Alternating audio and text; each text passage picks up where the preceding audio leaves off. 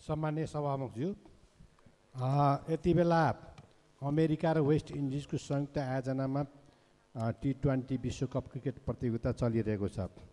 त्यो प्रतियोगितामा अनेकौँ खालका त्यो क्यानको नेतृत्वबाट गलत कामहरू भइरहेको र अनियमितता भइरहेको गुनासो आएको हुनाले सरकारले यथाशीघ्र त्यसलाई रोक्नुपर्ने जरुरी भएकोले मैले कुरा उठाउन खोजिरहेको छु।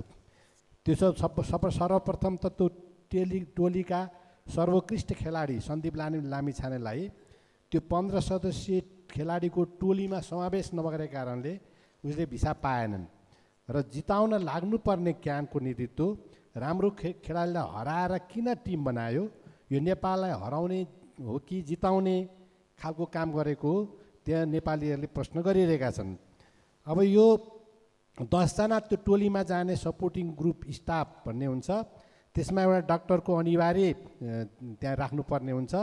त्यो डाक्टरलाई कटाएर एकजना महिलाको नाम राखेर त्यहाँ पठाइयो जसले गर्दा आइसिसीले त्यसलाई अस्वीकार गर्यो जसले नेपालको प्रतिष्ठामा ठुलो आघात पारेको छ। खेलाडीको साख बेचेर खेलाडीलाई होटलमा उभ्याएर त्यहाँ चन्दा उठाएर दुरुपयोग गरिएको भन्ने गुनासो आएको छ। अनि अवैध रूपमा जर्सीहरू अमेरिका लगेर नेपालीहरूलाई महँगोमा बिक्री गरेको र त्यो रकम पनि हिनामिना गरेको भन्ने गुनासाहरू आएका छन्।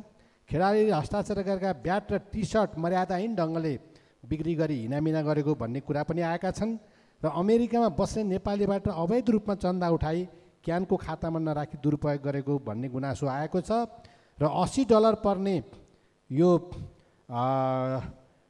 टिकट गेमको टिकट एक सय पैँतिस डलरमा ब्ल्याकमा यो क्यानको नेतृत्वले बिक्री गरेर नेपालको बेइज्जत गरेको भन्ने पनि गुनासो आएको छ।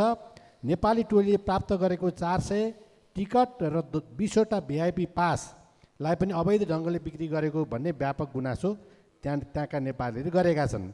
यसरी क्यानको नेतृत्वले नेपाललाई र नेपालीको बेइज्जत गर्दै गर्ने काम गरेको आर्थिक अपचलन गरेको नेपाललाई जिताउन होइन हराउन भूमिका खेलिरहेको र खेलाडीहरूलाई शिर निहुराएर हिँड्नु पर्ने स्थिति बनाएको खेलाडीहरूको गुनासो रहेको छ। त्यसैले केही दिन अघि प्रधानमन्त्रीको कार्यालयको लेटर प्याड दुरुपयोग गरेर विश्वकप हेर्न अमेरिका पठाइदिने भन्दै मानव तस्करीको कोसिस गरिएको कुरा प्रधानमन्त्री कार्यालयले रोकेको थियो।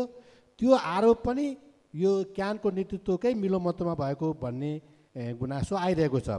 त्यसैले आइसिसी टी ट्वेन्टी प्रतियोगितामा नेपाललाई हराउन गरिएको षड्यन्त्र र आर्थिक अनियमितता र भइरहेका जुन आरोप लागिरहेको छ त्यो नेपालको शिर निहुराउने भएका यस्ता अनेकौँ गलत क्रियाकलापको सन्दर्भमा निष्पक्ष एउटा छानबिन आयोग गठन गरेर सरकारले यथाशीघ्र छानबिन गरोस् र दोषीमाथि कारवाही गरोस् भन्ने माग गर्न चाहन्छु। धन्यवाद।